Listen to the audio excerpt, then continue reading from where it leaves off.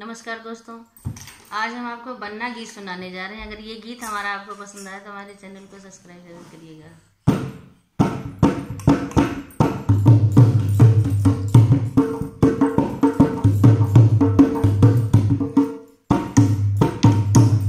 हरियाले बना गंगा